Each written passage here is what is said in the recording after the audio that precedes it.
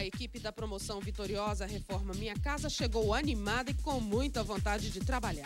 É, vamos quebrar! Vamos quebrar! Vamos quebrar, vamos quebrar tudo!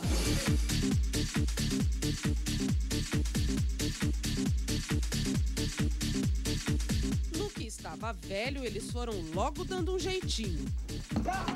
Para que a reforma saia perfeita, a equipe analisa a estrutura da casa, mede daqui, dali, é gente trabalhando em todos os cantos. Claro que de forma divertida.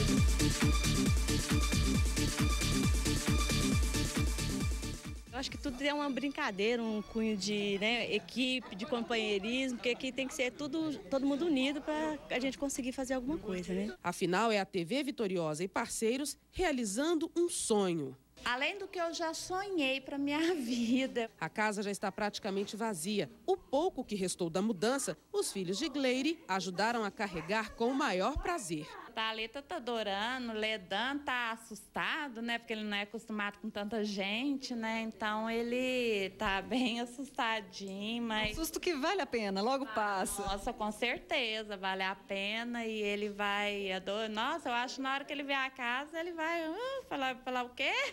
Aqui, cada parceiro do projeto é exemplo de solidariedade. No primeiro dia da visita, a equipe decidiu que a casa será ampliada. Tudo para garantir mais conforto e dignidade à família. Nós pensamos na família, né? E nessa casa tem que ser, e essa casa tem que ser funcional para a família, né? Ou seja, nós observamos que que a casa tem três pessoas, né? a mãe e duas crianças, sendo um menino e uma menina, e a casa só tem dois quartos, né? Nós já pensamos em ampliar, ter mais um quarto na casa e com relação ao acabamento, a revestimentos e pisos, isso aí já vai ser projetado, levantado, mas com certeza a estrutura é bacana. Reforma por aqui também é sinônimo de qualidade de vida.